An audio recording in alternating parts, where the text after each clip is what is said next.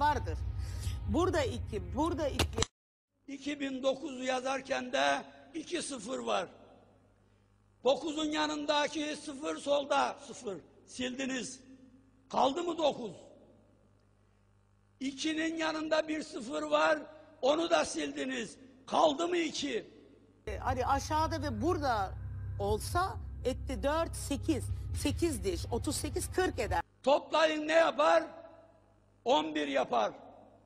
2009'un içerisindeki 2 sıfırı da sildiniz. Ne kaldı? 29 kaldı. 11 ile 29'u toplayın. 40 yapar.